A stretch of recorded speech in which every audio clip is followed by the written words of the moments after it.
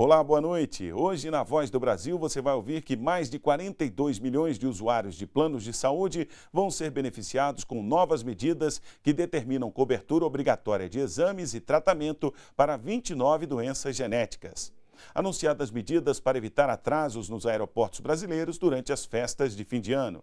E ainda, Brasil e França assinam acordos nas áreas de educação, ciência e tecnologia para ampliar a relação entre os dois países. Estas e outras notícias daqui a pouco às sete da noite na Voz do Brasil, em todas as emissoras de rádio do país. Até lá!